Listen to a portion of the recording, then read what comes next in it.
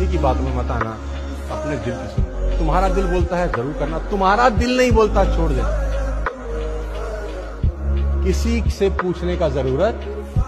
तुमको अच्छा नहीं लग रहा तो क्या किसी से पूछने का ज़रूरत है? नहीं, मत करो। और तुमको अच्छा लग रहा है तो क्या किसी से पूछने का ज़रूरत है?